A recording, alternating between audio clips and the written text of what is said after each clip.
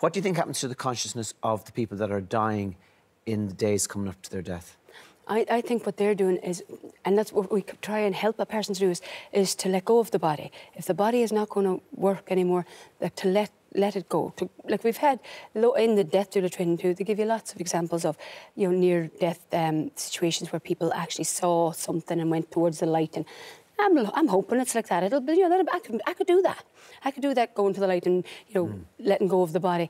But I think when the person, if you've experienced death yourself, you do. There's an energy around, especially in Ireland, the way we do wakes. There's an energy around it. There's a there's a, a reverence and a, and a kind of a, a like I remember my, one of my father's things were always when somebody died was open the window to let the soul go, mm. uh, to let the soul out of the body all Irish traditions, covering mirrors. Um, like back in the day, sure, we um, we used to bring people in to keen at funerals. To, like they were almost they were like the, hired almost into to mm. At funerals. So we have a big death tradition in Ireland. Yeah. Have you thought about your death, Tommy?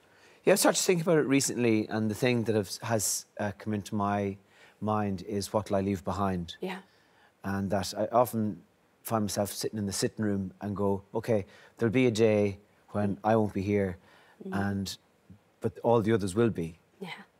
And I'll just be gone. Mm-hmm. And what will they? What will I have left? And what what memories will I have left them? And what practical things will yeah. I have left them? And uh, yeah, I'm thinking about that. And then you start thinking about, okay, well, why not put some effort into uh, good things Love rather than just because most of us are just living all the time and we're you know Uh, grabbing this, grabbing that, and surviving and getting on and moving. But to think about, uh, to actually think about, okay, what will be left behind me when I go? Yeah. It's, yeah. What imprint will you leave? Pardon? What imprint will you have left? Yeah, I mean, you can't always control that. No, you cannot. Life dictates you know. a lot of it. But you know what I think, Tommy?